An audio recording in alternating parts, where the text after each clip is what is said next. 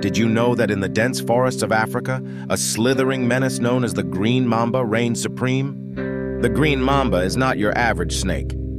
It's lightning fast, capable of striking at incredible speeds with a lethal precision. But that's not the only reason to fear this green nightmare. The venom of the green mamba is a potent cocktail of neurotoxins, causing paralysis and respiratory failure within minutes. The green mamba is an expert tree climber. Its agile and arboreal nature means it can pursue its prey with ease through the treetop canopy, making escape nearly impossible. The green mamba's diet is as diverse as it is carnivorous, dining on birds, small mammals, and even other reptiles. The green mamba is a force to be reckoned with in the dark corners of the African jungle,